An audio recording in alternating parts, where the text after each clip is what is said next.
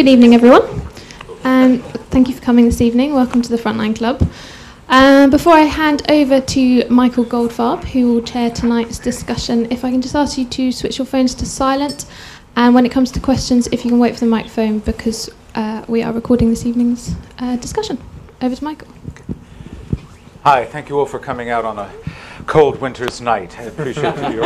It's nice of you to arrive and, and talk about America's shifting foreign policy, what, what the foreign policy of the second Obama term might look like.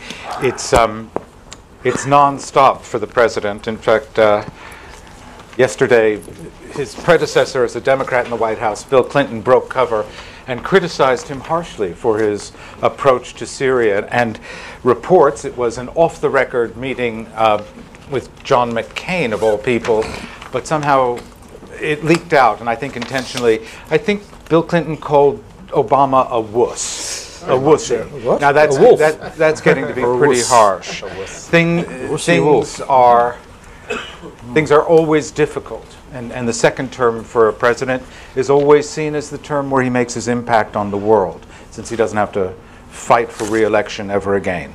Um, so we'll hear about that. It is a very, very good panel, and it's well balanced. We have two people from the sharp end, people who, who are journalists and who've been covering the impact of decisions made in Washington, and then two distinguished thinkers who take a broad view. And let me introduce them to you. This is Kim Ghattas, who is currently the BBC State Department correspondent and has occupied um, the, the very movable bubble that accompanies uh, secretaries of state, and particularly one as peripatetic as Hillary Clinton. And she's just written a book about that experience, The Secretary, A Journey with Hillary Clinton from Beirut to the Heart of American Power. And that's the book for sale over here, and I'm sure she'll be happy to sign them afterwards. Then there's Nick Schifrin. Nick works for ABC News as a foreign correspondent here in London. He's, um, he's been bureau chief in both Kabul and Islamabad. He has had to cover um, the consequences of decisions made in the Obama White House, including drone strikes in the region. Um, and then beyond Nick, and actually, he's made a tremendous transition, has Nick. He now covers the royal family almost exclusively because now, now that he's based in London, that's apparently all they want him to do. Are they in but their that's American term news. too? What- Are they in uh, no, second and- trying to define Yes. their legacy. And, That's and what, what would be very interesting to know is whether the NSA, NSA monitors their um, communications. Or the other way we know, around. the poli- the we know that the police The other did. way around. We, we've heard squidgy tapes and all those other things, those of us who are old enough to remember. So gosh. we know they do get monitored, but it's a question of whether the NSA does. And then there's uh, Professor Michael Cox, who is professor at the uh, LSE, professor of international relations, and is the author, editor, and co-editor of several books, including The Rise and Fall of the American Empire. And I'm sure we'll hear about that. From Bush to Obama, U.S. presidents and democracy promotion, and U.S. foreign policy and soft power. And then at the end is Dana Allin, who is a senior fellow for U.S. foreign policy and transatlantic affairs, and editor of the epically named Survival. I know of no think tank journal called Survival, and it's about global politics and strategy. And he's at the International Institute for Strategic Studies, and his most recent um, book is The Sixth Crisis Iran, Israel, America, and the Rumors of War, which I think is a really apt phrase. Anyway, what I'd like to do, there'll be plenty of time for questions, is at least start by asking um, Kim to, s- for everyone to just state briefly, three, four minutes, an overview. And that'll be a good way to get started and get some ideas introduced into the conversation. And I'll start with Kim. Thank you very much, Michael, for the uh, introduction. I'm delighted to be at the Frontline Club because I've heard a lot about the, the club, but I've never had the opportunity to speak here. Um, I'm not only somebody who's reported on the decisions, uh, the impact of decisions made in Washington, but someone who also lived on the receiving end of those uh, decisions because I was born in Beirut during the civil war in the late 70s, and I lived there my whole life uh, until I moved to uh, Washington five years ago to be the State Department's correspondent uh, for the BBC. But when I was in Beirut, I was uh, born on the front lines, lived on the front lines, and living in that war and the chaos uh, that it meant for my family and I really made me want to become a journalist. Um, I grew up with a lot of questions about American power, wondering um, why the United States couldn't do more for us, even when it was doing certain things, we felt that it wasn't enough or that it wasn't the right thing. So growing up, asking myself, asking myself those questions, uh, I became a journalist trying to um, explain the world better to myself and, and others. And then five years ago, I found myself in Washington as the State Department correspondent, reporting on some of those decisions being made in Washington. Um, and it all came together, uh, those two aspects of uh, my life, uh, living on the receiving end of, de of decisions made in Washington and then reporting on them, and realizing that questions about American power and about American foreign policy, the questions that I had asked myself as a child, were still very much out there. Wherever I went with Condoleezza Rice or Hillary Clinton, I would find echoes of the questions that had haunted me as a child. Uh, questions that we are still asking ourselves today. How much power does America still have? Um, is it in decline? Uh, what does it mean for the rest of the world? And that's why I decided to write the Secretary to address some of those questions for a wide uh, audience. Now, one of the themes uh, in, uh, in my writing was to really describe how the making of American foreign policy actually works for a wide audience, because there are a lot of misconceptions, I think, out there uh, about how much or, or about how those decisions are made and how much um, power the US has to implement them. Uh, there is still this image out there of an omnipotent superpower, uh, perhaps less so than before, but there are often reactions when the US isn't doing uh, what we would like it to do. There are often reactions to that, and people asking, well, why doesn't the US just intervene and stop the conflict in Syria? And no doubt um, the conflict in Syria is something that we will be uh, discussing. But I'm also exploring uh, American power in the 21st century, how it is changing at a time when other countries are rising and challenging uh, American uh, influence in the world. More and more countries want to have uh, a say in how the world is run, not just the big ones like China, but also other smaller uh, rising powers like Turkey, uh, like Indonesia, but also Brazil.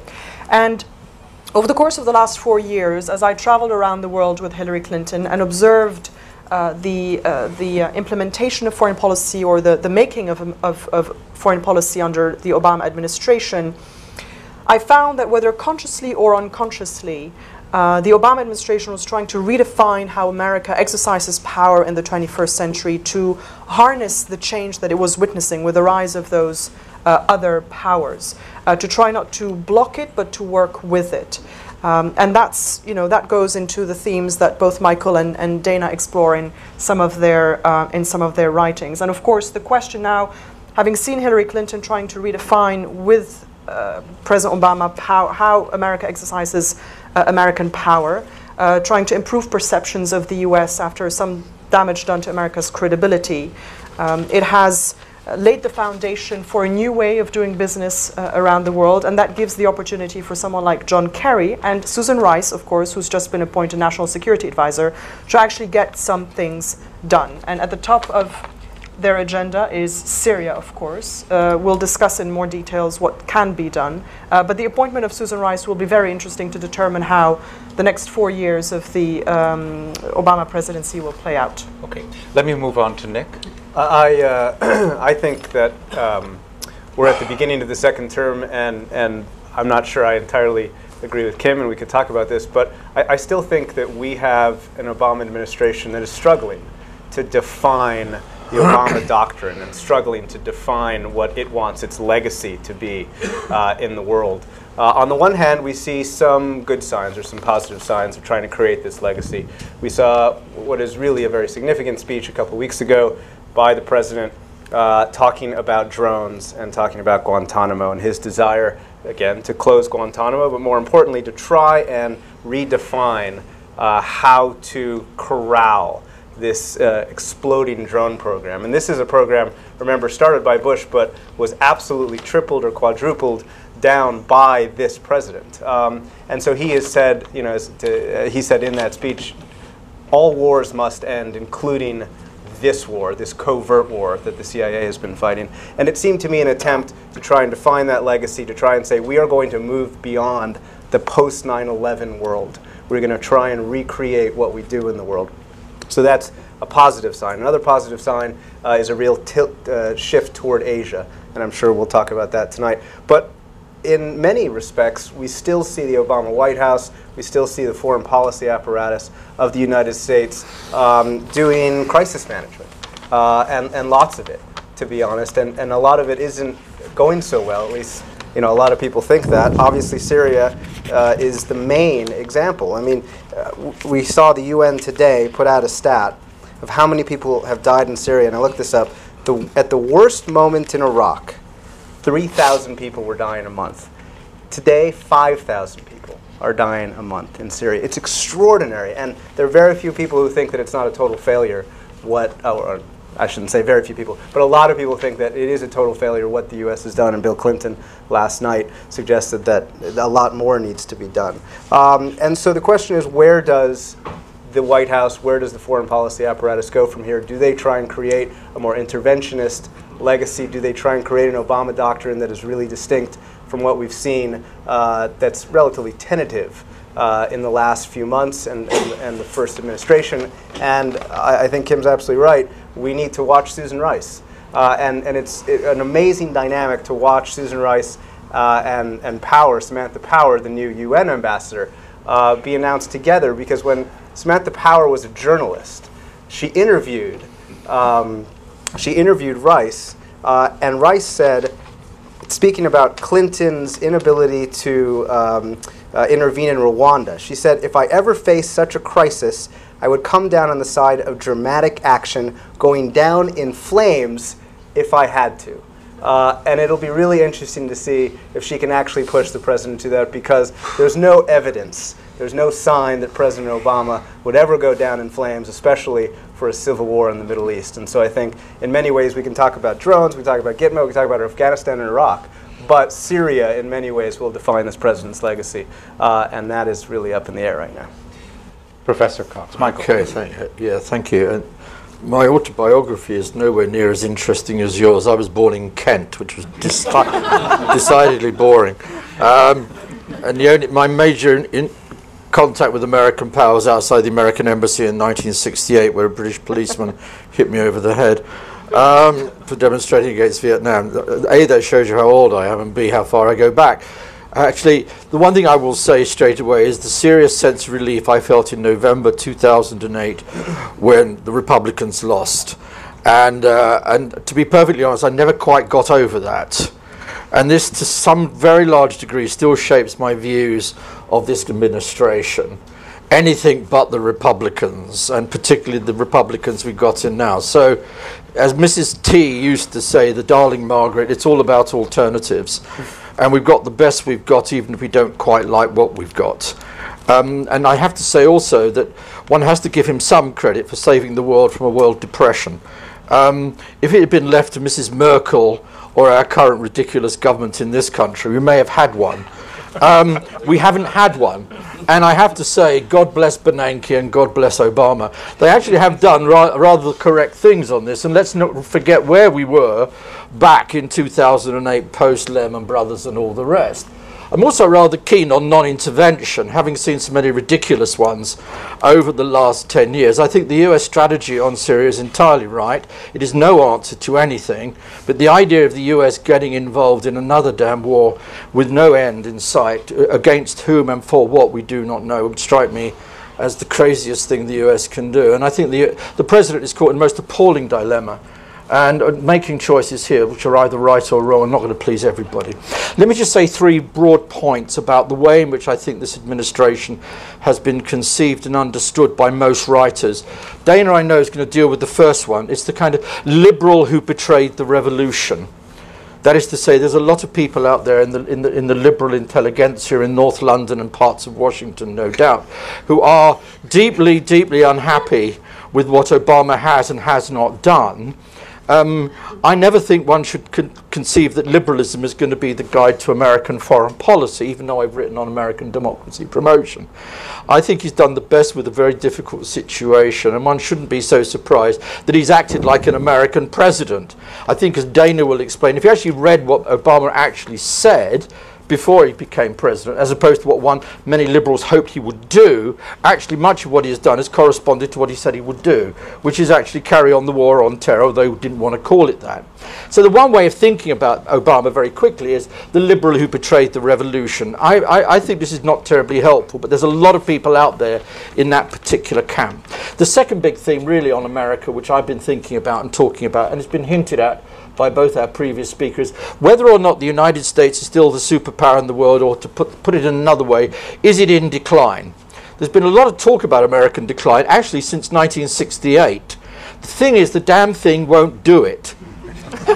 Everybody keeps talking it's going to do it, but in the end, the damned, damned Americans don't quite do it enough. They're not like the British or the Ottomans or the Austro Hungarians who did decline properly. So there is something really quite exceptional here about the United States. I am still one of the great uh, skeptics about the notion of American decline. I think there is a lot of talk about it, and much of the narrative, particularly amongst academics, is about it. And actually, the Chinese themselves actually bought into this idea with, I think, some rather disastrous consequences for their own foreign policy in Asia. However, I'm not so sure about it. The third point I make, and I'll conclude here, Chair, I think we should actually be talking a lot about what I call riseism not declinism. What do I mean by riseism? Namely, I think what will define this presidency, first and second term, is it's, it's, the ability of this presidency to look at the changing character of power in this world, the rising powers, and not just China, India, the BRICS, in a sense, he's Jim O'Neill in the White House, this man, um, in terms of the BRICS and all the rest of it. However, unlike one of the earliest I'm not so sure this is a fundamental challenge to the United States. I think it poses challenges, difficulties, but I'm not sure, and judging by the recent discussions between China and the United States, I think this is something the United States is, will be able in the end to manage. And that is going to be its great test over the next 10 years. Thank you. Thank you. And Dana? Thanks. Um, I, I, will shadow much of what Mick has already said, but let me just maybe say it from a slightly different perspective.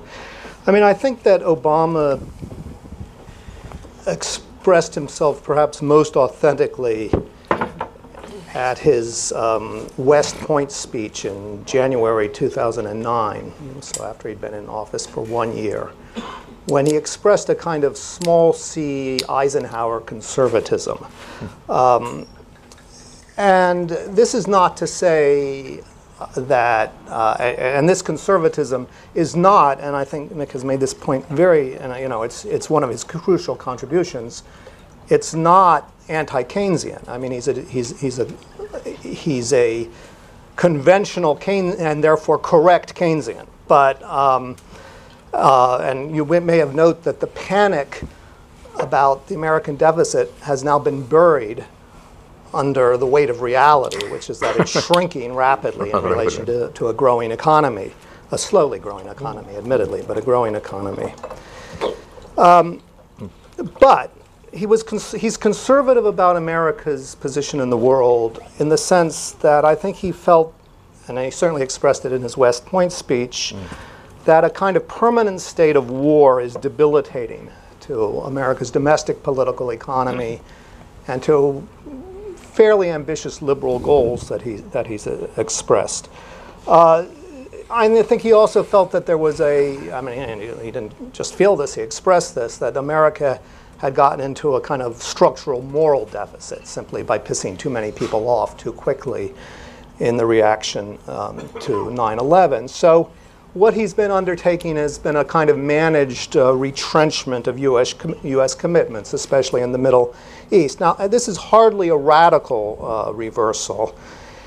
And I think what's going to come out in the discussion tonight is that circumstances and events are working against it. It's difficult to retrench. I mean, we talked about Syria. Um, I think we could find ourselves in a shooting war with Iran based on commitments that he, that he has maintained. Um, he's tried to avoid it, but he's also mm. drawn a fairly clear red line.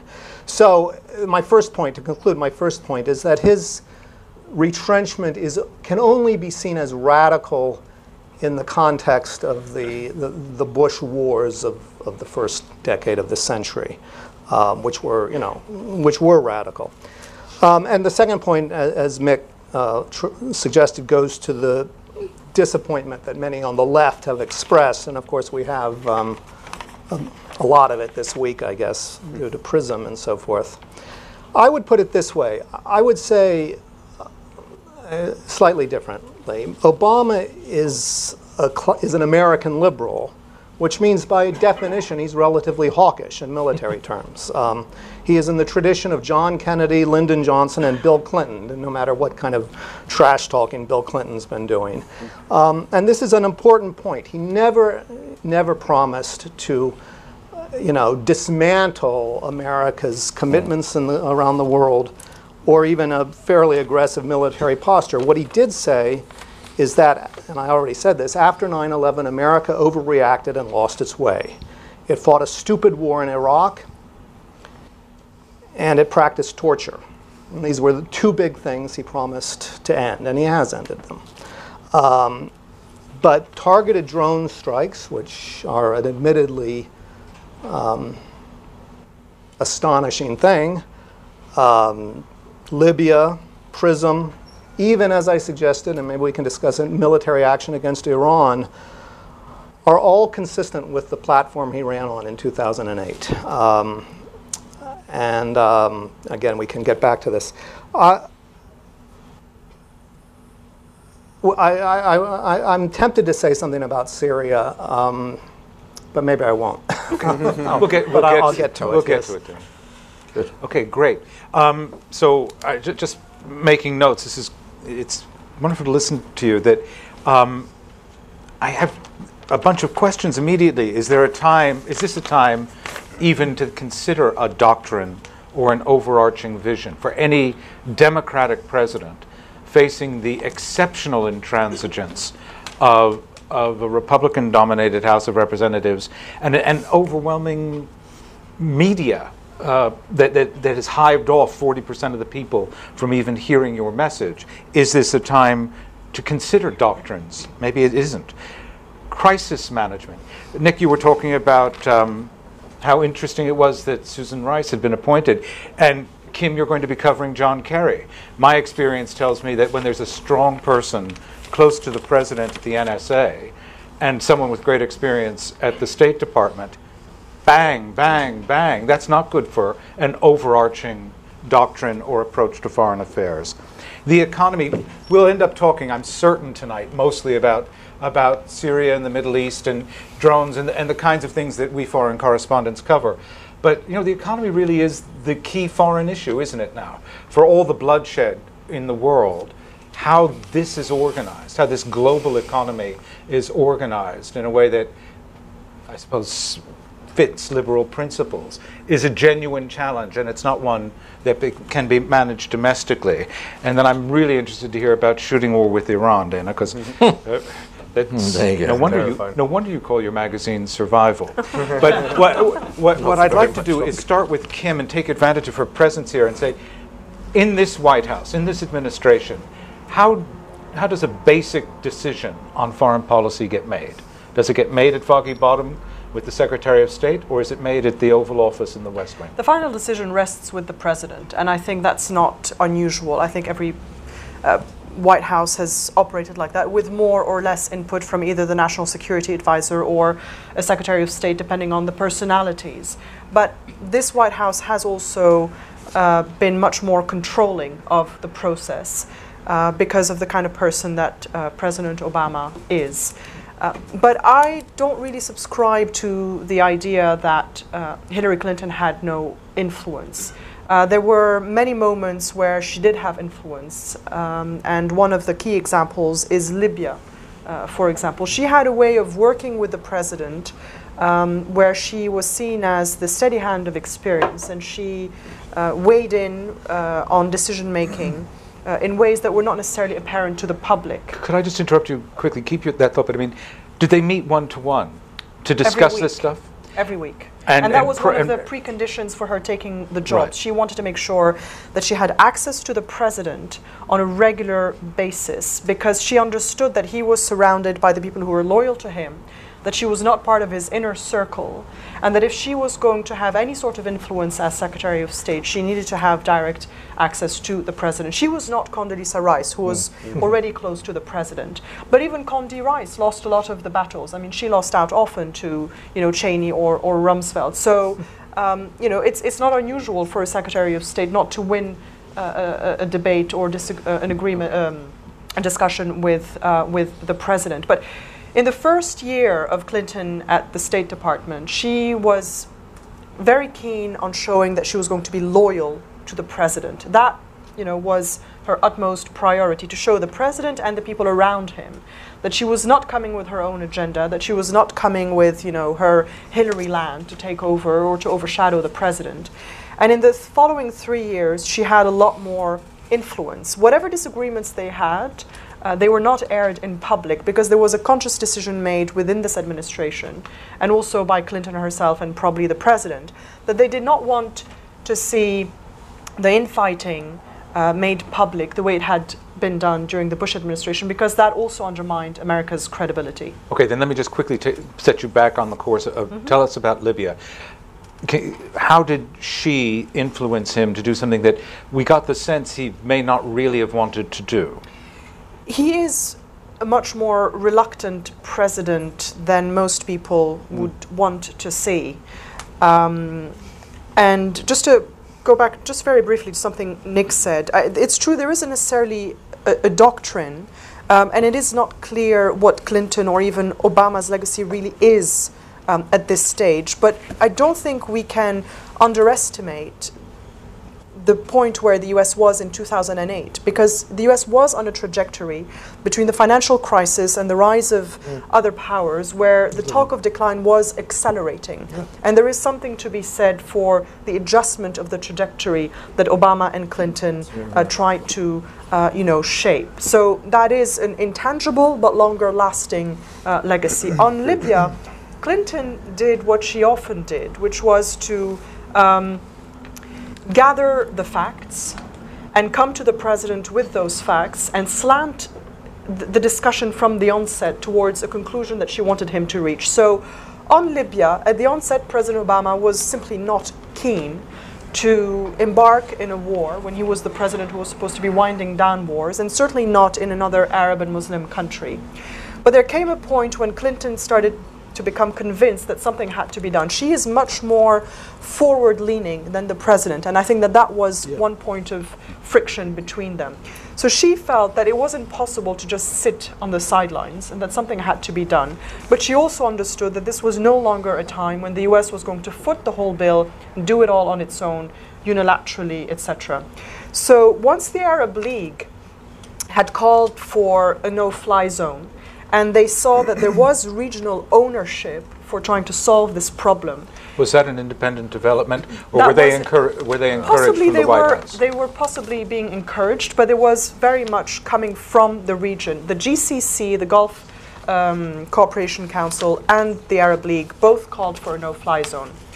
I was on a plane with her. We were going to uh, Paris in the middle of March of 2011 for a G8 meeting of foreign ministers. And she, by then, was already convinced that something had to be done, but she wanted to see whether it was possible to get all the all the elements aligned. So she met with the French and the British to see where they were on this no-fly zone and whether they realized that a no-fly zone was simply not going to be enough actually to end the violence.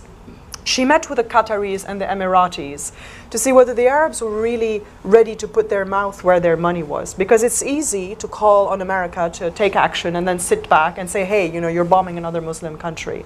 And then she sat with the Libyan opposition leader, also in Paris. It was the first uh, meeting of, of, of the sort um, to assess, you know, what their vision was, whether there was someone they could work with. Um, it's never perfect, and you know we can get into the discussion about whether um, you know you ever know really the opposition, and that question is still there with Syria.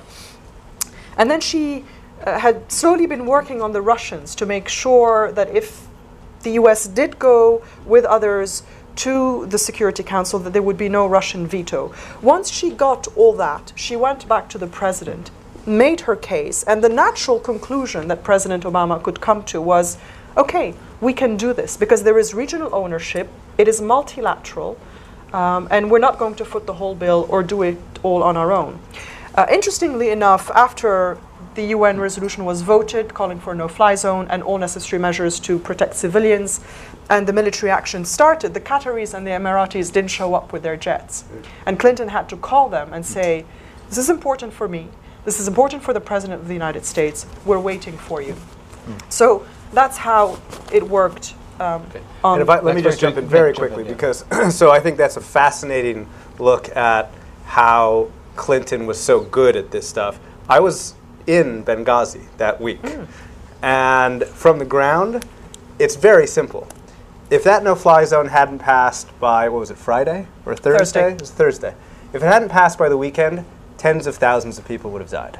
I mean, there is no doubt about that. That as we were all getting the hell out of Dodge and going to as far as close to Egypt as we could get, Benghazi was a sitting duck. And all of us who've been on the front lines every day in Ras Lanuf, anywhere west, knew that while those planes were crap and probably even missing us on purpose because they were missing by a mile, there was a lot of mercenaries right behind them who were just happy to take their money and just flatten Benghazi.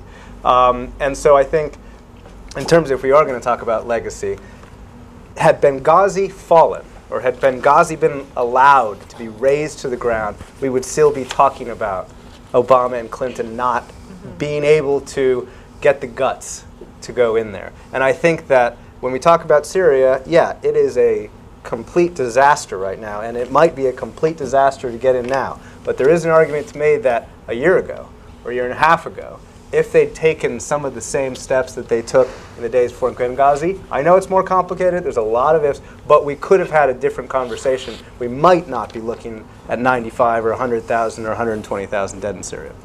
Well, the, the, to, to me, this is this has been a really instructive. That there's a very actually clear line of communication and response. I mean, I, I get the sense. I understand that it's all done within the White House, but her task was to rope together all of this and then Yeah. bring it back to the president, and then got the decision that she wanted, obviously from Not the get. always, but in this case, she did. On Burma, for example, she, she got the president on board as well to Right. engage towards uh, reform. She was very much at the heart of uh, the decision making on uh, you know the Asia policy, but she lost a lot of other battles. I So- mean, on so- Afghanistan, you know, she was in favor of uh, a bigger number of troops for the surge. She didn't get there. She was in favor of less CIA involvement in Pakistan. She didn't get that, but she did still try to, you know, get that relationship, um, um, you know, on track. And then on the Middle East peace process, you know, that first year she was very much trying to be the good soldier, the loyal team player. She did not voice her disagreement with what she thought was the wrong approach to Middle East uh, peacemaking. That set off the administration in the wrong tra- in the d- wrong direction. But she also made a very, you know, um, clear politician's choice not to, um, you know, hang her Capital. reputation What, on that what- thankless what was the task. wrong Dana? direction? Sorry, what was the wrong direction? I mean, it hasn't worked out. I It hasn't worked that, out. I mean, but what was the know, wrong direction initially? There's a sense in Washington and, and in the region as well that focusing on settlements so much from the onset was not the right approach. But there, ha- you know, you could argue it any which way because so many people have tried. The alternative to the- focusing on the, uh, the, focusing on the settlements clearly failed because Obama did not have a plan B when Yes. Netanyahu said no. On the other hand, not focusing on the settlements was a status quo view of the traditional peace process diplomacy, which had gotten nowhere. And I think the administration, I think Obama made the proper judgment that it was, you know, the peace process was a long-term um, fig leaf for continued settlement activity. So, it, I mean, it does seem to me, I, I I interjected here because a lot of people have the view that this was a strategic error on Obama's part to make such a big deal about the settlements. And I can see what they're saying. I, or at least I'll, I see what they're saying to the extent that I would so say this was the largest foreign policy defeat for the president in the sense of something that you feel could have gone better, but he was defeated on it. But However, but, e- but even what he got right was then criticised by the Republicans for having got wrong, and that was over Libya. It did strike me this was a very smart foreign policy. Leading from behind made absolute sense after Afghanistan and after Iraq.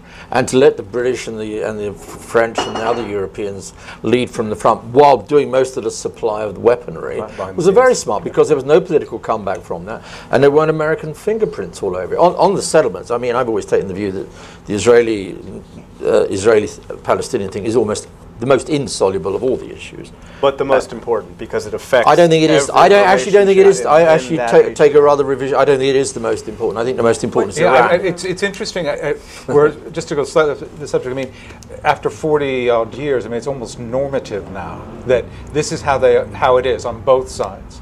And um, I wonder.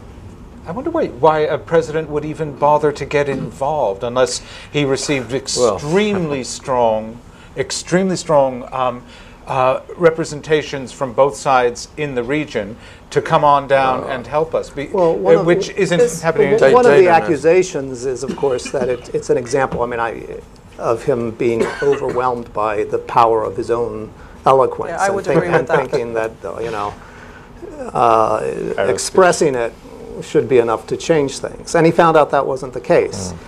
Um, I'm, I'm, I'm intrigued by this question about whether it's the most important thing or I don't think whether it it's is, not. no. I mean, I think that. Um, it is, it is crucially important to the United States because it's crucially important to the future of Israel, and Israel is almost the 51st state. And in that context, and, Which and is- it's which is the problem, of well, course. you can say it's the problem, but it's also well, it is it.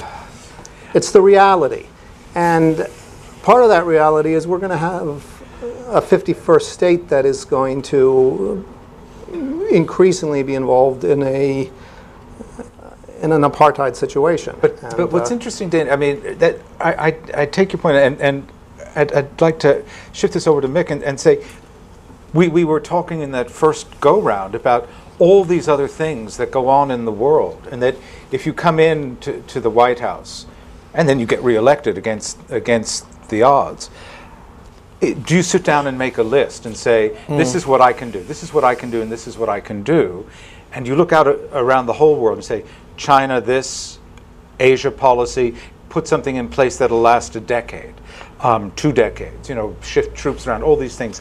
Where would it, I mean, I don't want to get hung up on Israel Yeah. so Yeah. soon in the conversation. So I'm going to ask Mick and, and say, if, if you were to look at, at America today and formulate a doctrine for Obama, You want me to do where, one? where, where would you start? What's the most important drink. thing? See, uh, have a quick drink, yeah, yeah. Um, and and the two rates of minutes. pay here Yeah. are considerably less Okay, than at GS let me just say very, very quickly where I agree with Dana on one fo- well, a number of points, but his point about don't be too disappointed with Obama because he never really was a liberal in, in, in the foreign policy sense. He's a liberal in all sorts of other ways. Go back and look at his speech he made in Oslo when receiving the Peace Prize for something he'd never done.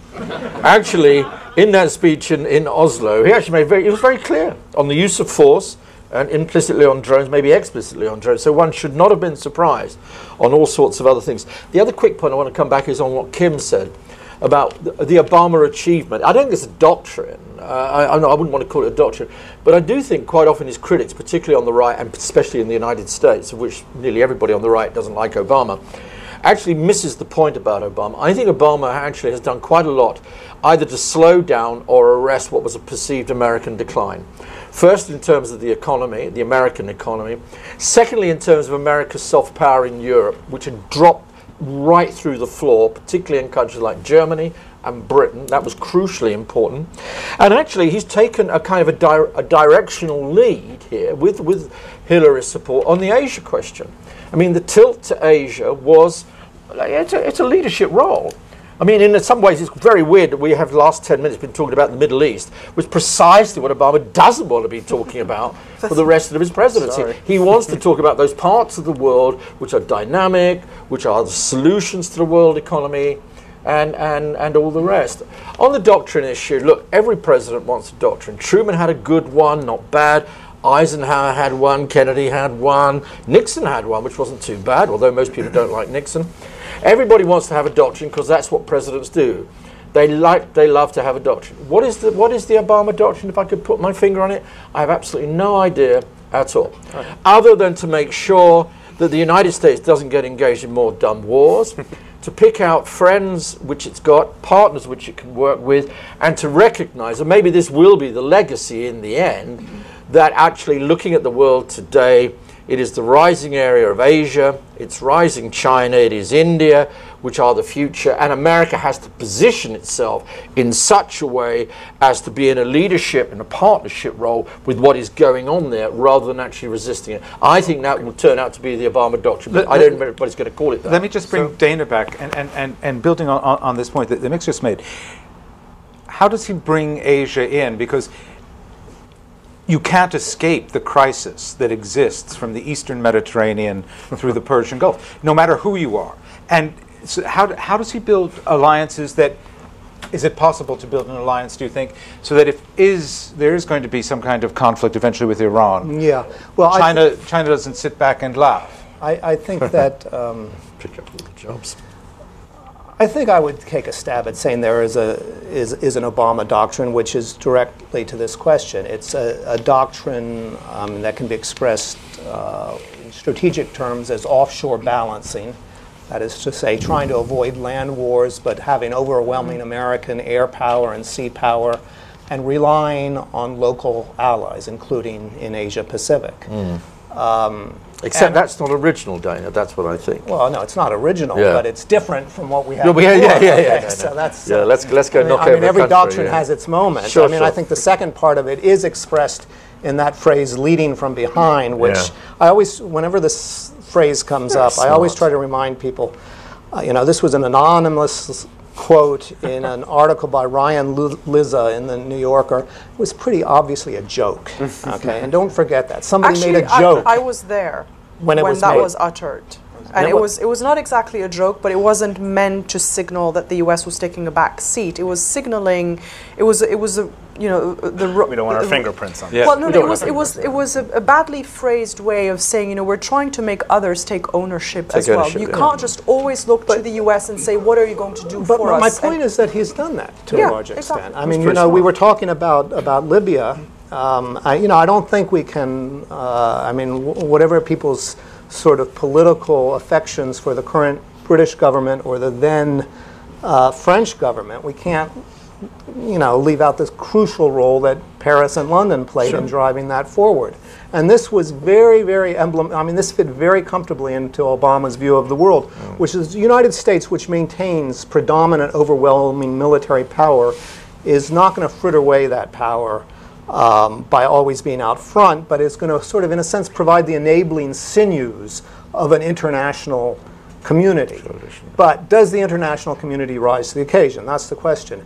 In, in, in, in Asia Pacific, just to go back to the question you actually asked me, um, I, um, I think there may have been, I, as you can tell, I'm a bit of a Kool Aid drinker here, but I think there may have been an excessive level of abstraction in this idea of rebalancing and a pivot without quite taking on board how this was going to look to China, because the idea was to, you know, it was supposed to be a Goldilocks kind of doctrine and strategy, which w- in which we would reassure Yeah. Asia Pacific allies and partners without Annoying the uh, Chinese. without well without at least Pissing off, uh, creating too much much anxiety in Beijing. So far, that's not working out so well. No, Although very badly. Yeah.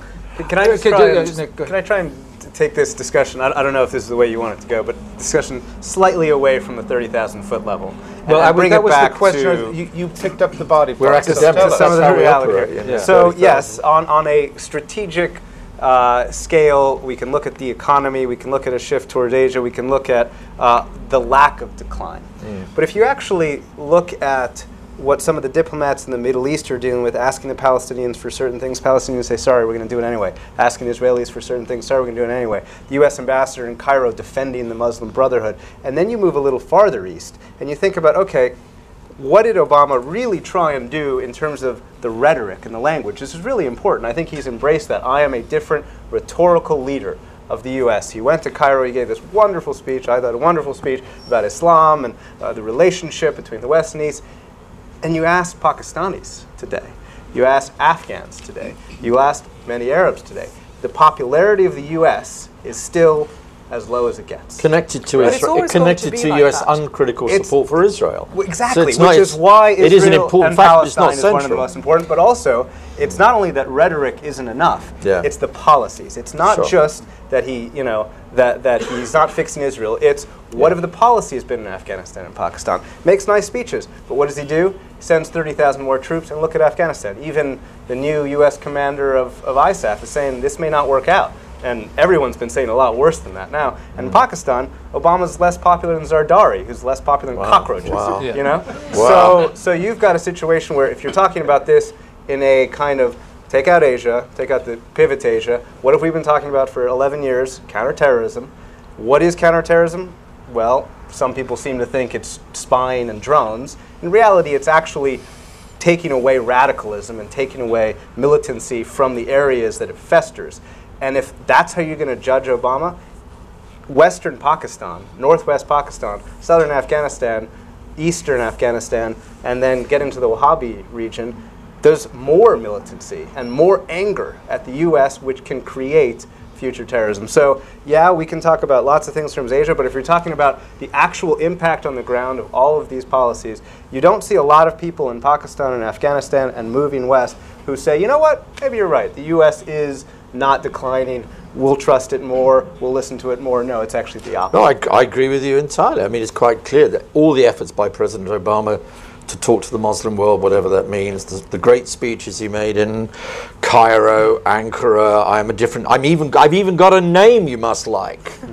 You know, my name is not Barry, it's Barack Hussein Obama. Where did I get that name from? You know, um, all of that has made absolutely zilch difference in terms of the street in the Middle East overall. I agree with you. I agree with you. My conclusion from that, however, is not that Obama's right or wrong, is that it's extraordinarily difficult to hit the Arab street, whatever that means, and the Iranian street as well.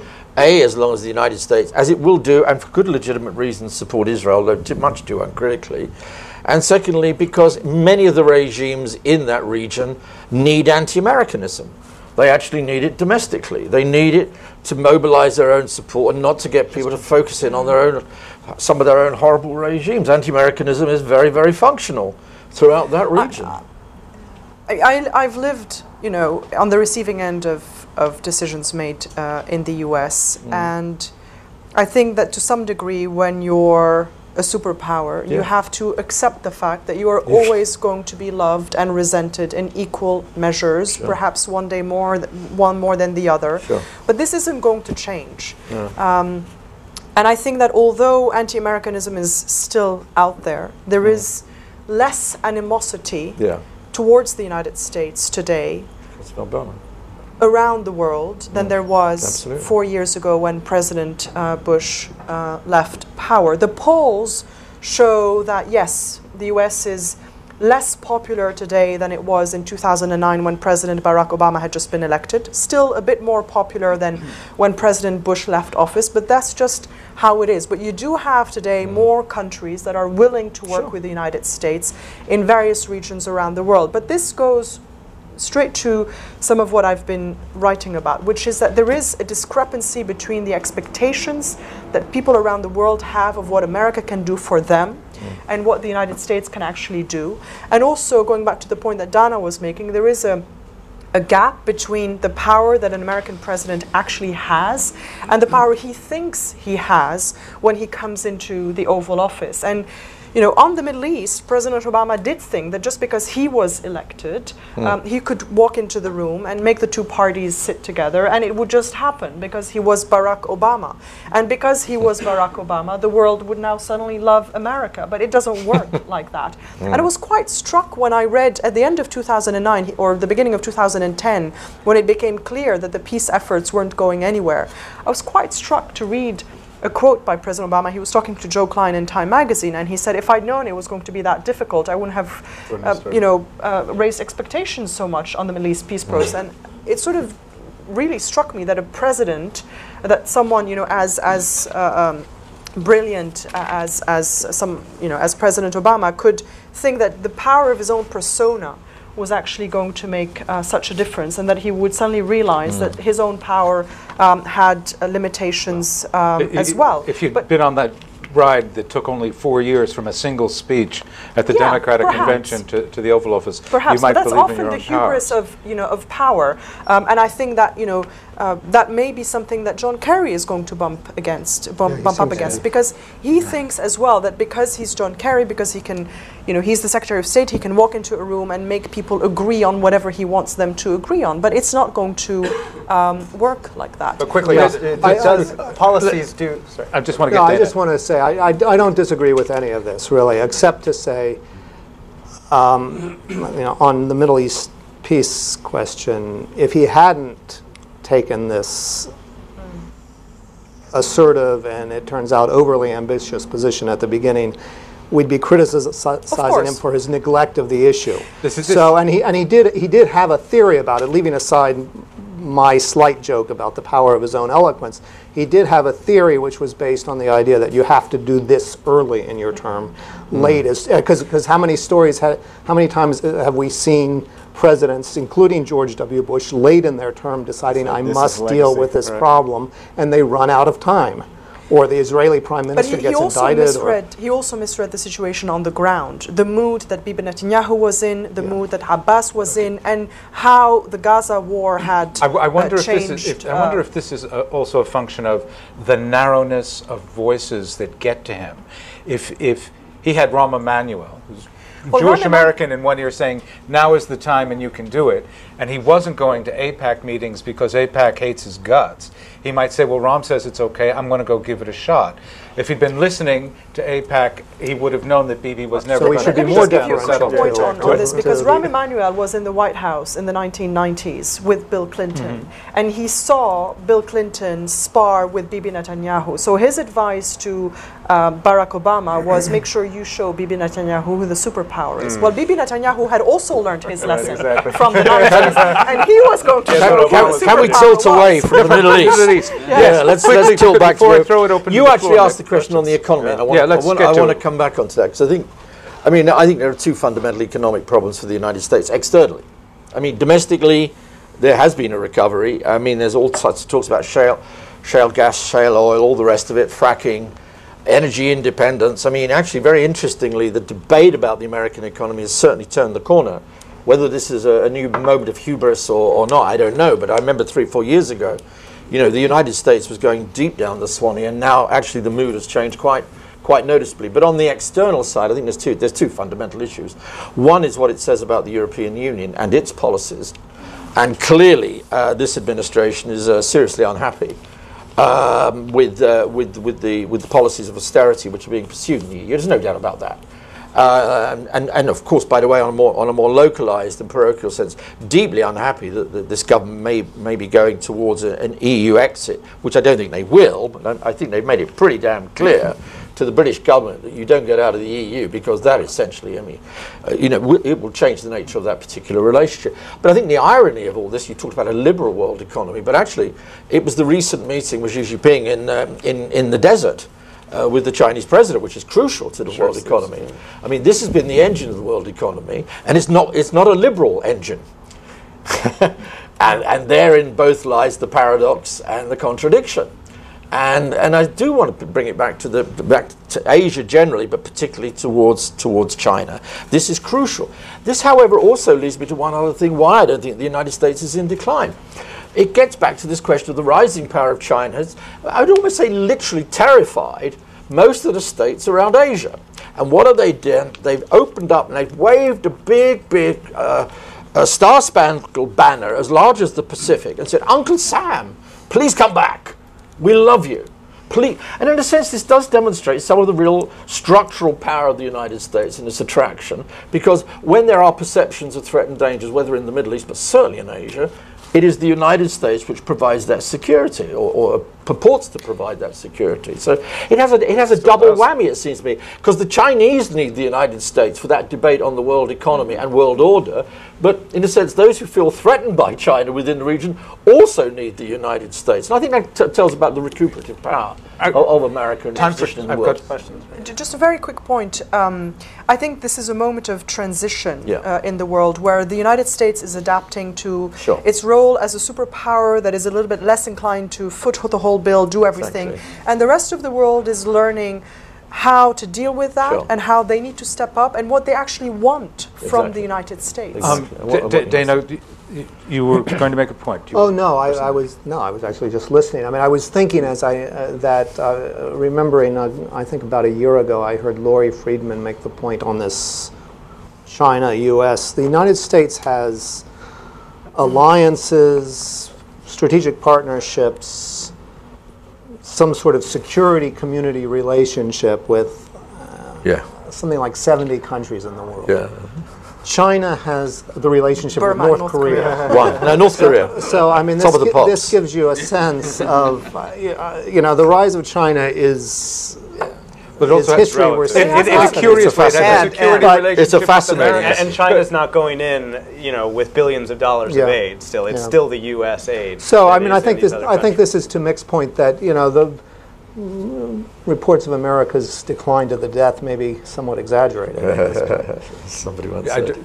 yeah, just make make a point that American society has changed, and it's I think it's declined since I was a boy growing up in, in, in, in the afterglow of World War II's great victory and, and our ability to to undo 100 years of segregation. We felt really good about ourselves. I think that America is gone and changed. But I think American power probably is still um, pretty considerable and, and not to be sneered at.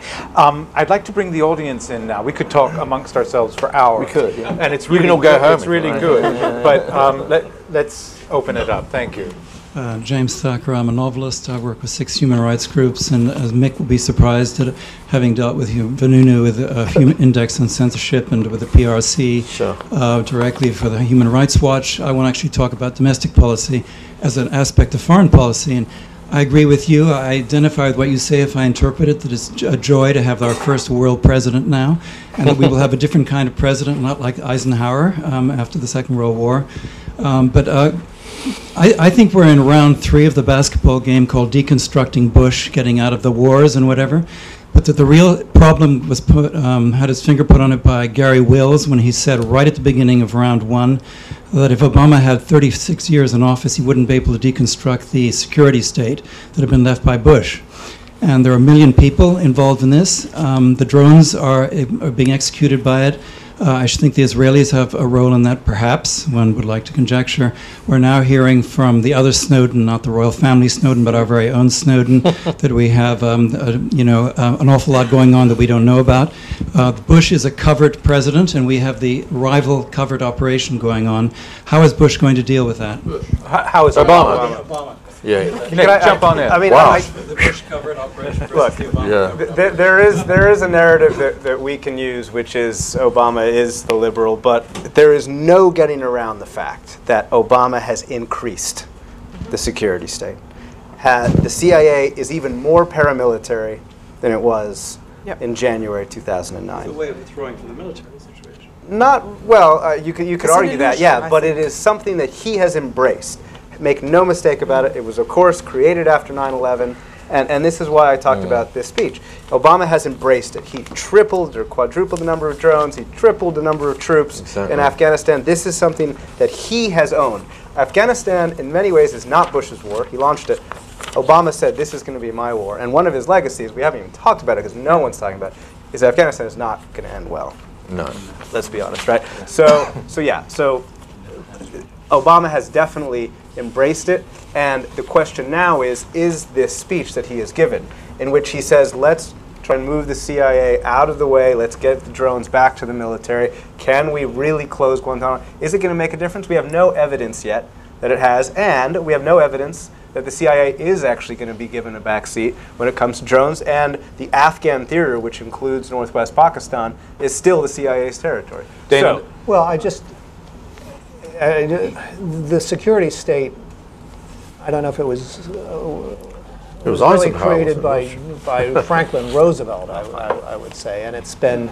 but Roosevelt didn't have 1.2 million people with top secret It's access. been or whatever expanding, it, it, wa- you're right, it wa- it was expanded greatly under, under George W. Bush. Um, uh, The current story is a reflection of the intersection of, of, of, of of a long tradition of signals intelligence in the United States, a large, huge bureaucracy of signals intelligence in the United States with an explosion of signals. I mean, you know, we, and and um,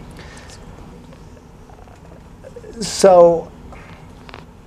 I, I, I, what what I tried to say in my opening remarks, which I, I just want to repeat because you know it was a limited but important thing that Obama said. Stop fighting stupid wars, or stop fighting one particular stupid war, and try to avoid other stupid wars. And there are fundamental ways in which we have, um, you know, violated basic values and, and the laws of war in, involving the torture of uh, terrorist suspects. Now, I, my, I think the timeline shows that in general, the practice of torture had stopped before Obama came into office. But what he did was he explicitly repudiated it, and that was important. Um, what, what is interesting, though, that he did not establish an American consensus against torture. We, it's actually a debated issue in the United States still. So, um, you know, that's a problem, and that gets to, I think, a question about domestic politics, which I think, you know, is probably important to get into. I'm puzzled by the statement, though, that um, he's not serious about taking the authority for drone strikes from the CIA and giving it to the military, which is, you know, a modest step, but an important step. The military ha- has laws of war, which it, uh, which is, are embedded in it in a way that is not embedded. It violates them. It's, sometimes. it's just pretty simple. The last strike that, that happened, the last two strikes in Well, the last week and a half, it, it's CIA still. It doesn't CIA happen overnight, been- but he said he no, was gonna CIA move authority to Just, to just one, one access. very quick point. I mean, actually, we have to say that Bush is, uh, uh, Bush, getting into the same confusion. Obama, I mean, has been super smart, really, on this, because in a sense, he's detoxified the war on terror. He's dropped the term, but continued it. And actually has probably pursued it with some greater degree of effect. Insofar as one can measure effectiveness, I don't know, but he's, in, he's increased the number of drone strikes over Pakistan. Uh, we've seen what happened in Afghanistan. He increased the number of troops by 30,000. He stood four square uh, on a whole bunch of other issues. He's not closed down Guantanamo. I mean, he's been very explicit about what he is and is not doing. And I think we've got to get to the point, and I hate getting to the point, where I don't blame everything on George W. Bush.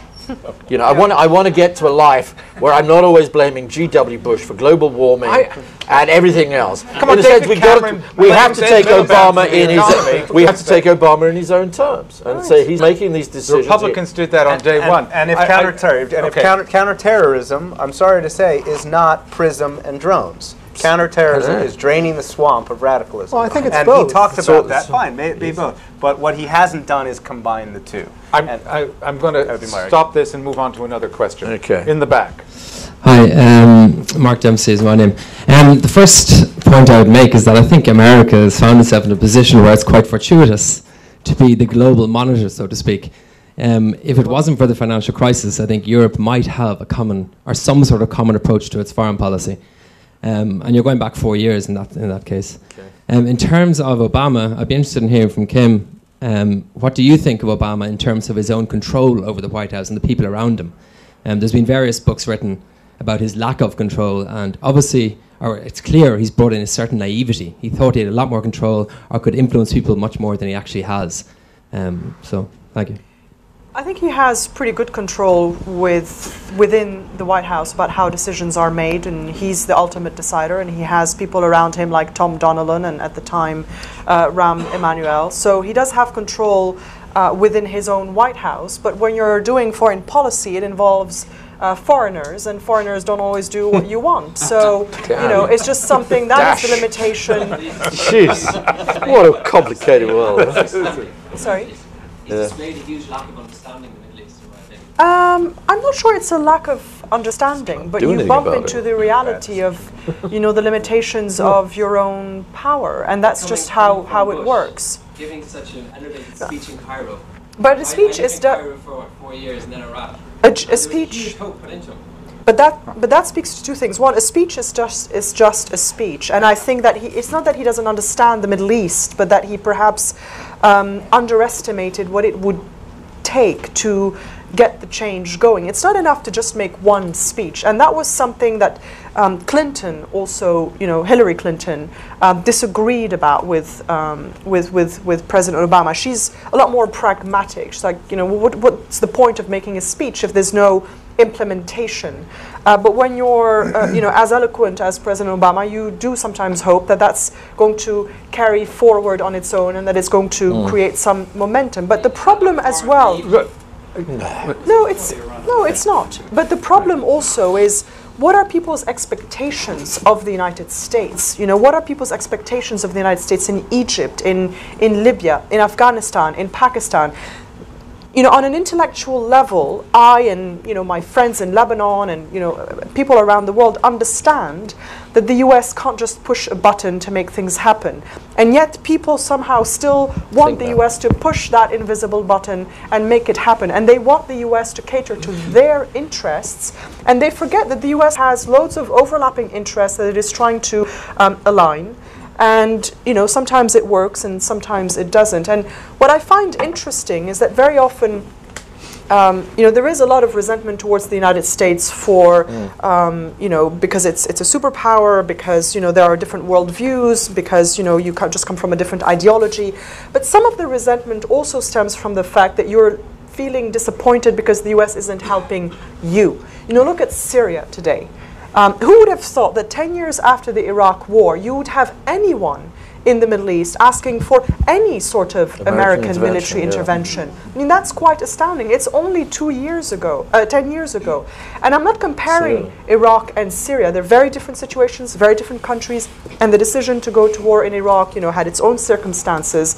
But if you only look at the day after the invasion and the debacle that ensued because of the lack of planning, why would anyone today think that if the US just intervened in Syria, everything would be okay? Mm. Well, that's, you know, that's the reality of it, and that's why the US president is under so much pressure to actually do something. And he's having to weigh, you know, well, what is it that I can do that is actually going to make a difference and that isn't going to lead me down a slippery slope towards owning the whole towards owning the whole problem. And just very briefly, going back to something that we have all just mentioned, is this moment of transition um, that the United States is facing, that the rest of the world is is sort of trying to come to terms with as well. I spoke to a Syrian. Um, activist, a lobbyist in, in, in Syria, in, in, in Washington, who's really pushing for American action. And I, I put this question to him, you know, why are you asking the US to do anything for you? You know, being a little bit contrarian. And he said, listen, we understand the world has changed. We're not asking for unilateral American military action. We're not asking for boots on the ground. We just want a bit of American leadership. Uh, we want American leadership because we Syrians are dying on the ground fighting against Assad. We will make that sacrifice, but we just want to feel that the US is there with us. And so that's that moment of, you know, a- adjustment that has to take place on both sides. There's a gentleman in the back. yes. Hi there, uh, my name's James. Um, it's, uh, if we had this discussion 25 years ago, we'd have probably spent most of the time talking about Russia. And I think that there's an interesting situation between the pressure that America is getting to be more involved in Syria and set against the fact that the Russians are clearly involved in supporting the Assad regime. And I just wonder what the relationship between America and Russia is about, and then the sort of dynamics of how that's likely to play out in Syria. Well, I, we had a conference at uh, sorry, we had a conference at LSE the other day about uh, Russian foreign policy. Maybe I could say a few quick words on that. I don't I don't pretend to be a, an expert on this, uh, and I come up with a rather controversial statement that I think brutal uh, realpolitik and Putinista, though the Russian foreign policy has clearly been, uh, Russia has drawn its line in the sand over Syria, and to a very large degree, thus far, that policy, crudely speaking, has worked. Uh, and the Assad regime um, is clearly very much in debt to what Russia has done.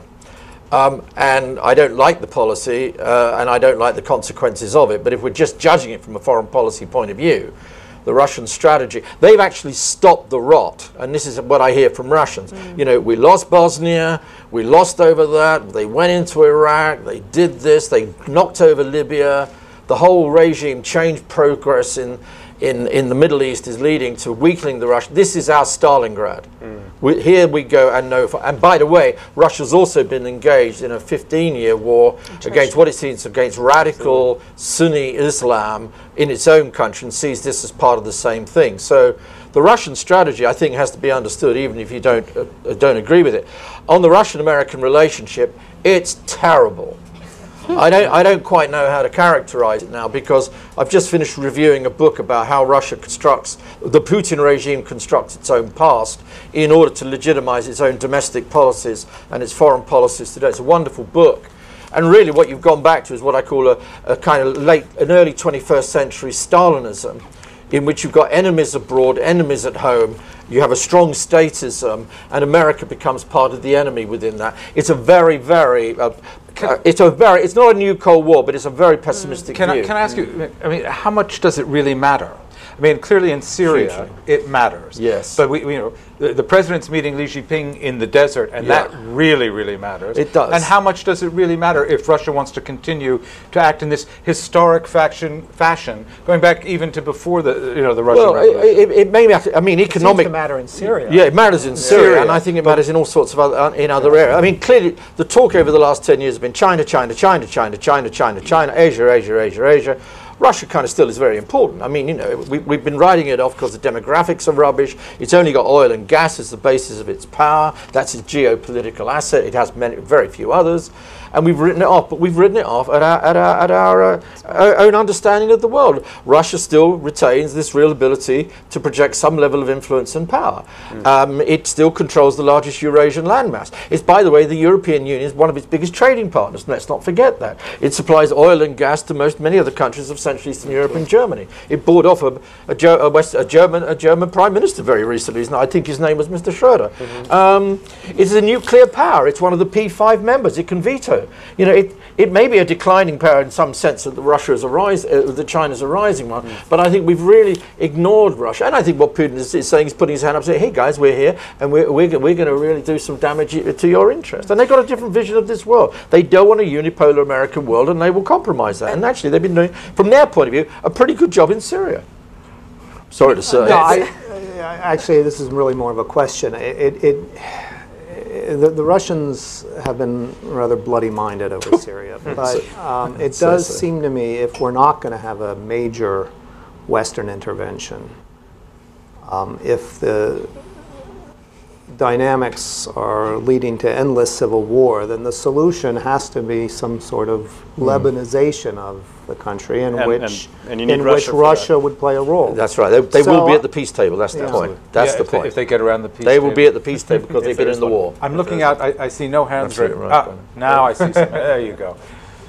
We'll come to you in a second. Thank you. Uh, my is Kit. Uh, a question about counter-terrorism or counter-insurgency in Petraeus terms. Um, with regard to the CIA, I think Obama implemented the, the field manual or whatever it's called, the, the kind of military laws. Uh, so he's attempting to address that. Um, the 30,000 troops into Afghanistan, was it was four and a half thousand with trainers to attempt to try and get the Afghans to kind of take control of the situation themselves. Um, I mean, what could he have done that he hasn't done? I mean, he's pouring more and more and more money in, but Afghanistan seems to be a kind of a drain that absorbs troops, absorbs money uh, with no change. Pakistan is a sort of unreliable ally, to say the least. I mean, what is it that he's done wrong? So, the U.S. Uh, has spent, for every dollar it spent in Pakistan, it spent 30 in Afghanistan. Um, the decision to increase troops, you could argue, was the right one or the wrong one. Uh, the decision to uh, increase drones, you could argue, is the right one or the wrong one. But I think everyone would argue that there needs to be more. The people of Afghanistan and Pakistan need to see more than more soldiers and more drones. And I think that most people would say they have not seen more. Now, there are reasons for that, in part because Obama didn't want to spend any political capital on Pakistan, and he probably would have gotten shot down for doing so. Holbrooke tried. And remember, this was this was a man who, while his diplomacy wasn't very good in that region and was kicked out of both countries practically, he had a great idea. He said, "Let's open an American hospital in Islamabad, the capital, in Peshawar, the biggest city in the northwest, Lahore, the biggest city in the east, and Karachi, the biggest city in the south. Let's do something That is to visible. put the American flag, even if it's not painted on the side, in Pakistan. Let's do more for U.S. aid and state in Afghanistan. We need to be more than the guys who drop bombs on the people with beards in the Northwest and the people who just send in more guys with visors and helmets who look like Martians to the people of Helmand and Kandahar. Those attempts were not successful. And so there's lots of reasons why, but there needed to be more effort put toward that. And, and Holbrooke tried a little bit, failed. Maybe Obama didn't want to. Who knows? There is absolutely no ability within state to risk any of its employees. So very few State Department employees, very few USAID employees would be out on the ground, leaving the base. There's lots of host problems we could talk about forever, but ultimately, the people of Pakistan would want their lives to be Yeah. better 10 years later, and in fact, they're worse. And, that, and they judge the U.S. on that. In, in the end, I mean, I, I accept all what's being said, but it's all been talking about the war. In the end, uh, counterterrorism comes down in the end to talking to terrorists. That's what it's going to come down to. Uh, I lived in Northern Ireland for 20, 20 odd years, man and boy, so to speak. As you can see, I still survived. Uh, I knew a number of the people who were later defined as terrorists. Actually, I taught some of the best, best, best educated terrorists at Queen's University. They went on to do PhDs and became Sinn Féiners and wore suits um, and, run, and run leisure centres and things like that. Now, Northern Ireland is not exactly the same. I, I, I do accept the major differences, but Jonathan Powell, um, who was a very close advisor to, uh, to Tony Blair at that time, and I, I've got to know quite well, I mean, uh, makes this point, and it's crucial. In the end, uh, difficult, problematic, morally repulsive though it's going to be, at some point there will be some level of discussions which is going to involve the Taliban, which by definition is going to involve Islamabad, it's going to involve the ISI, it's going to have to come to that because that in the end is going to be the only way forward. And I find it highly problematic from a moral point of view. Even the Good Friday Agreement in Northern Ireland was problematic. Let's, let's not forget that for a lot of people who had suffered as a result. But I, I think that in the end is going to be our Yeah, only way but, out. But Mick, the, the Obama administration never said it would not talk to the Taliban. No, I'm not criticizing And, and as, I'm a not matter, as a matter of fact, I seem to recall the Bush administration was. No, no, no. was- I'm not criticizing. I'm simply saying that in a broad In a strategic, broad sense, strategic sense, that's yeah, where no, that's I where mean, we're going to go. Let- but Problematic while, while that we're talking about No, I'm not, I'm not criticizing. while we're talking about who we talk to, Yeah. and we've been talking about Russia, you, you you're looking at Iran a- as as a real problem. Now the Russia the Russian this is the hold as as we know that you can't just ignore Russia's desire Yeah. actions in Syria because you need Russia to help shepherd Iran in, into talks uh, with the IAEA. Now, who do you talk to in Iran then, Dana? Who, who does any American president Who are talk the to in reformers, Iran? Dana? I don't know. We're, uh, uh, remind me when the elections are. Tomorrow? Does it Tomorrow, yeah. Does it matter? Um, look, I. You know, I think you have a, a genuine tragedy here in the sense that the United, the, the Obama administration really thinks that it's put um, a serious offer of engagement, of, of, of, of strategic engagement in a sense, the possibility of a grand bargain, the big thing on the table with the Iranians, and that the Iranians know that. But from an Iranian point of view, we're also practicing economic warfare, um, sabotage. Somebody was assassinating their scientists, although they seem to have stopped doing that, maybe because Hillary Clinton said to stop or criticized it. Um, so many uh, th- th- that's the first problem that that it, it- you know it, it, it, it, it's it's a psychological dynamic known to international relations theory as you know the security dilemma but laden trust, laden with so much um, uh, reason for paranoia on both sides. Um, the second problem is that uh, you know, every all all talk about a deal assumes the best case, and or not the best case, but a reasonably favorable case in terms of what the Iranians are up to in their nuclear program, which is to say they would be willing to be given a, uh, they would will, be willing to accept a deal which would give them kind of a virtual nuclear capability, but they would be, you know, not, not go over the line and not weaponize. They may be determined to weaponize. I mean, that's not, you know, there's, a, there, there's evidence both ways.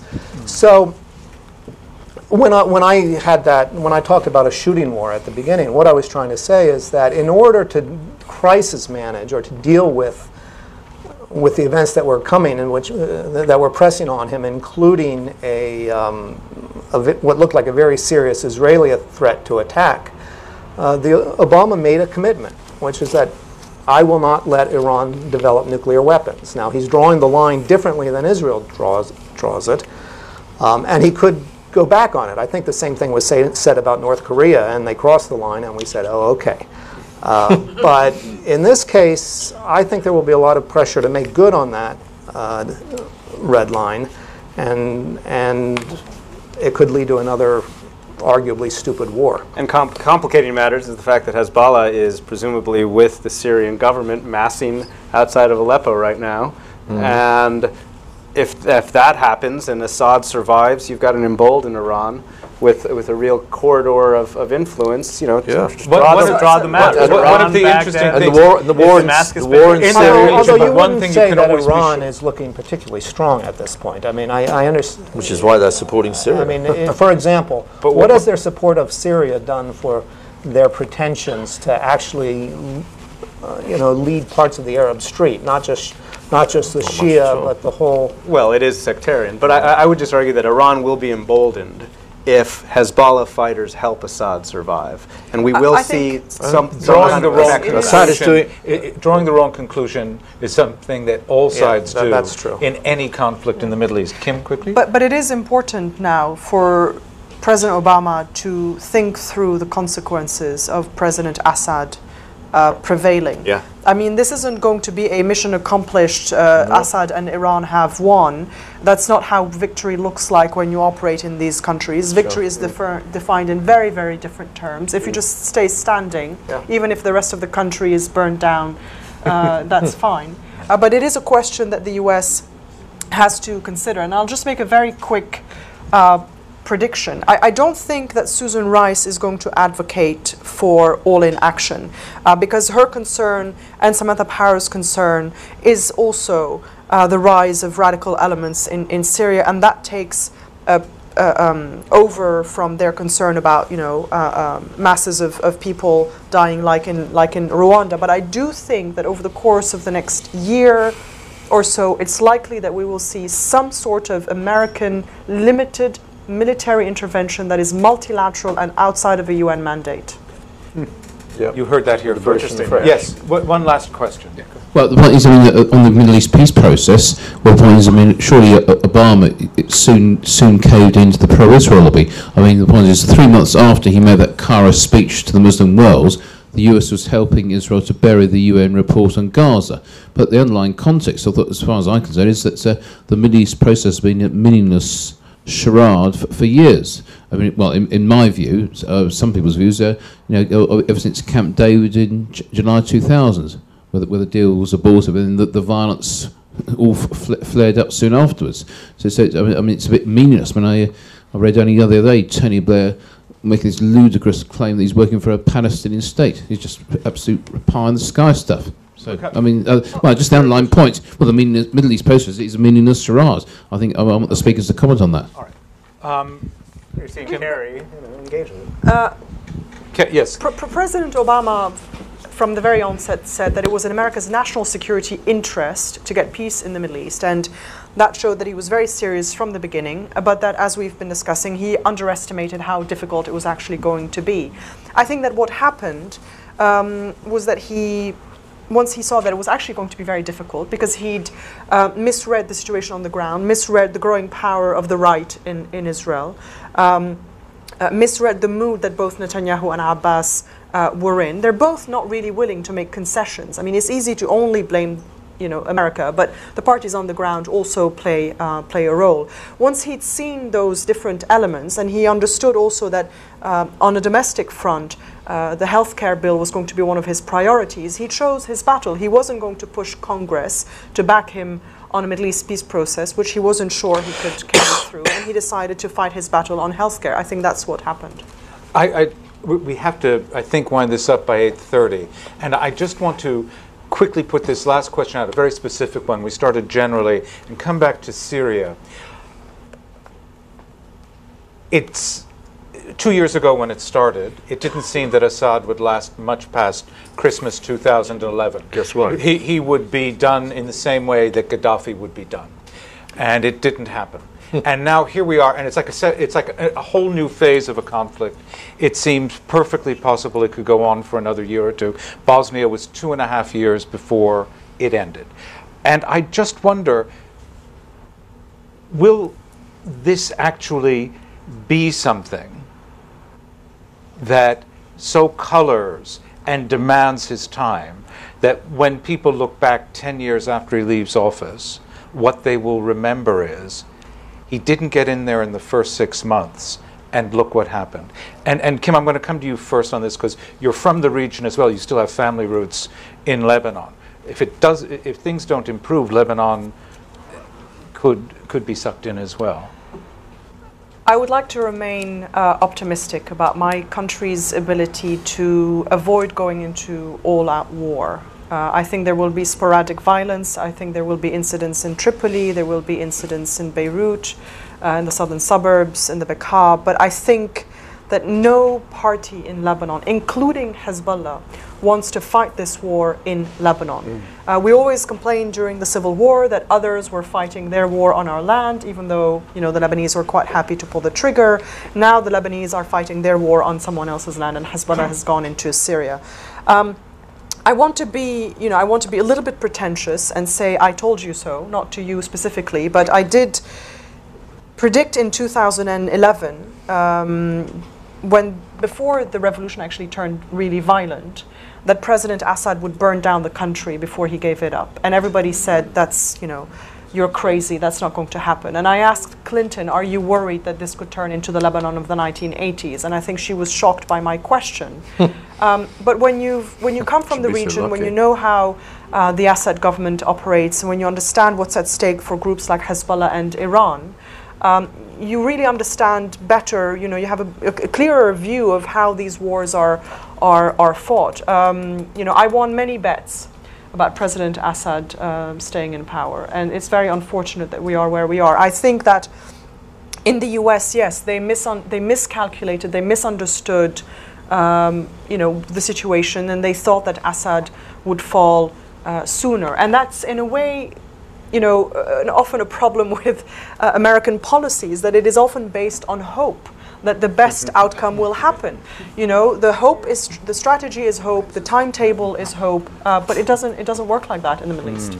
I, I want to stay away from saying whether it's going to color his whole legacy, but I'll just point to one thing in specific that I think we saw in Afghanistan that I think is really, really worrying and does suggest that maybe we'll be talking about this in a long time, which mm-hmm. is we talk about a country imploding, we talk about 100,000 dead, but we're also looking at the, the empowerment of radicals. Yes.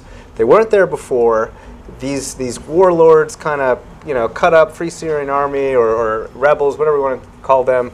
They move in, they, they take some of the country, and they start looting. They start maybe treating people slightly badly. And then behind them comes real, real radicals like Al Qaeda. You know, use that we use that term so loosely, but really they're kind of linked. And they say, you know what? We're not going to loot. We're not going to rape your, your daughters. We're not going to burn the place down. We're actually going to be pretty nice to you. And suddenly, you've got places where the radicals are popular, where they have absolute popular support, where they're running Sharia courts. I mean, remember Afghanistan. This is exactly what we were talking about post Taliban. So there is a real risk that you have a section of a country right next to Israel, right in the middle of everything, that has empowered real militants and radicals. And that, we don't know what, what's going to happen long term, but that's really worrying. about that. Um, Yeah, I mean, very quick. I mean, I agree entirely with what's been said. And again, it's ironic, don't we? we everybody, America wants to tilt to Asia. We end up talking about the Middle East, which I understand why, but it does actually demonstrate some of the problems of the United States. Maybe I'm a long-term historical pessimist on the Middle East because I don't live there and I don't have to live with the consequences of it directly. However, the consequences of it will, uh, will and will continue to affect us. There's no question about it. I mean, what has happened in Pakistan, what has happened in Afghanistan, what is continuing to happen in Iran, Iraq, and in Syria is radicalizing yet another young generation, both in the region. Jihadis are going there. The, the Russians have calculated over 300 uh, jihadists have gone to Syria, maybe more. They probably calculate maybe up to 500 have gone there And that's why counterterrorism isn't drones and in then you know, so it isn't just about dr- you know, et cetera, et cetera, et cetera. And this will clearly have a radicalising effect back on the streets le- of but London, let- back on the streets of Paris, and back on the streets of Western Europe. It, we know that's the kind of world we're going to be living in. Let, let- but let, let- let me just Which is the tragic remind you of the question. I mean, does this, Yeah. will this be what he's remembered for? Well, it depends Ra- what rather than an inspirational speech It- followed a year later by the overthrow of uh, Mubarak uh, from uh, the street and so. Obviously, it depends on what happens. I mean, uh, I mean, two, three quick responses to this. First, uh, Clinton is not remembered for the shame of, Ro- I mean, of course he's remembered for it, but this is not what is seen as his la- legacy, Rwanda. Okay, so horrible things can happen in history, and you don't necessarily saddle American presidents. Secondly, just to make a point here, we have you know, the, the, the name Obama is in the title of this evening. We've spent a little bit too much time talking about Obama. I mm-hmm. think we should all recognize me. I'm probably the most guilty person. You know, he's the he's the head of one co one of three co-equal branches of government in a, in a very powerful country. But you know, that the, there's there's limits to what he can do. Mm. The third thing, though, is. Um, to the extent that it's le- his legacy, I will, I, I'll only answer that question in a narrow way. I think it's been somewhat surprising to many people how adamant he has been about not getting involved in Syria. And it's something he really seems to take seriously. I mean, he, he, he was moved to act in Libya or to join the action in Libya. I think he personally has felt that it would be a mistake. And mistake. if, if you think that passivity is morally culpable, then you blame Obama for it to a large extent. Hmm. I'm going to have to bring it to a close. It, it, this has been terrific, and I didn't have to work very hard.